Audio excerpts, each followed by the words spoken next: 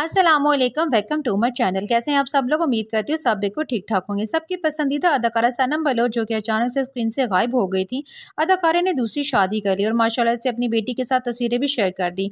और दूसरे शोहर की ये ख्वाहिश थी कि वो शोबिस इंडस्ट्री को मजीद कंटिन्यू ना करे। सनम बलोच जो कि बहुत ही खूबसूरत दिल की मालिक हैं। इनकी ज़िंदगी इतनी ही उतार चढ़ाव का शिकार रही। सनम बलोच पहली बार शोबिस इंडस्ट्री में वापस आई तो धूम मचा दी। अदाकारा की नई तस्वीरों ने सबके होश ही उड़ा दी अदाकारा ने जहाँ पर बहुत ज़्यादा ज़्यादा वेट गेन कर लिया, वहीं पर इनकी खूबसूरती और इनके चेहरे का ग्लो वैसा ही बरकरार है। दिखाते हैं आपको खूबसूरत सी हूर बनी सनम बलोच की नई तस्वीरें। इनके, इसके लिए वीडियो को एंड तक लाजमी देखेगा और वीडियो को पसंद आने की सूरत में शेयर और लाइक करना बिल्कुल ना भूलिएगा।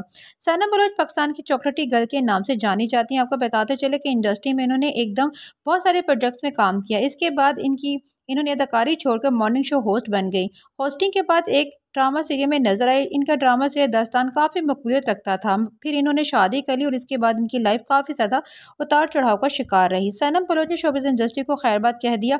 इन्होंने रमज़ान ट्रांसमिशन भी की और खूबसूरत अंदाज में लोगों की दिलजोई भी करती रहीं। आने वाले मेहमानों से हमेशा खुश अखलाकी से मिली बेटी की पैदाइश के बाद कुछ तस्वीरें ज़रूर शेयर की, मगर बहुत कम सोशल मीडिया पर नज़र आईं। हालाँकि अपना इंस्टाग्राम अकाउंट भी अपनी बहन को दे दिया।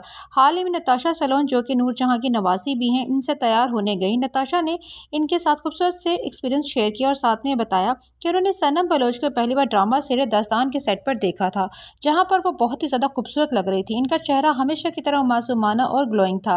हाल ही में अपनी बेटी की सालगिरह के मौके पर वो दोबारा से नज़र आई तो इन्होंने इंस्टाग्राम पर इनकी तस्वीरें भी शेयर कर दी और सोशल मीडिया पर भी काफ़ी ज़्यादा वायरल हो गई हैं।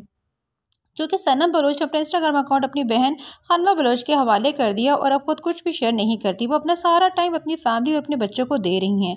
सनम की बहन की सालगिरह के मौके पर वो काफ़ी ज़्यादा तैयार भी हुई और काफ़ी खूबसूरत भी लग रही थी। नताशा सलोन पहुँची अपनी बेटी की सालगिरह पर तैयार होने के लिए और नताशा ने इन्हें हमेशा की तरह खूबसूरत और ग्लोइंग सी लुक दी, जहाँ पर ब्लैक ड्रेस में सनम की ये लुक सबको बहुत ज़्यादा पसंद आई। सनम को दोबारा सब स्क्रीन पर देखना चाहते हैं, लेकिन अभी वो अपनी लाइफ में बिज़ी हैं, जिसकी वजह से दोबारा से वो शोबिस इंडस्ट्री का हिस्सा नहीं बन सकती और ना ही वो अपनी फैंस के साथ अपनी ज़िंदगी की कोई भी अपडेट शेयर करती हैं।